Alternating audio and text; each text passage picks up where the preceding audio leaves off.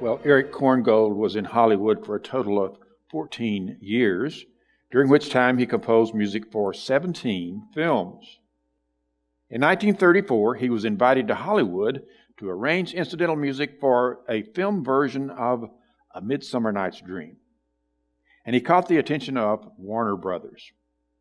Well, he signed a contract making him the first world famous composer to work in Hollywood.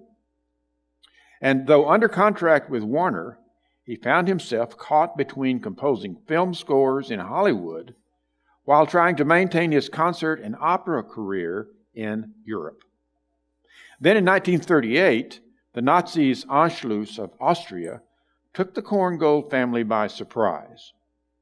To save his family, he moved them to the United States, choosing to write film scores full time. Thus, the story of Erich Korngold another gifted artist who died far too young.